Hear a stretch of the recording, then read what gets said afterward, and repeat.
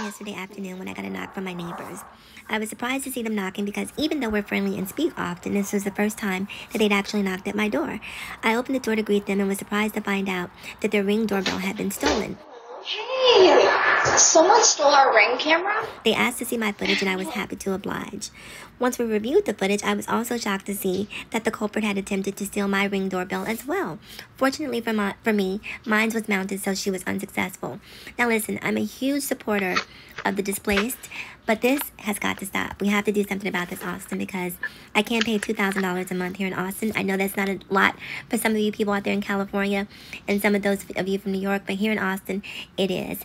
Uh, but fortunately, Ring Doorbell came through like a champ.